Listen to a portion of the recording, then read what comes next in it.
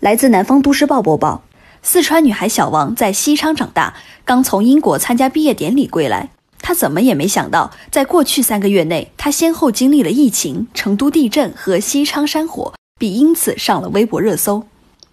去年八月，小王从英国布里斯托大学完成学业，回到四川成都的家。年初的疫情打乱了他找工作的计划，只能宅在家里，却被成都突如其来的五点一级地震惊扰。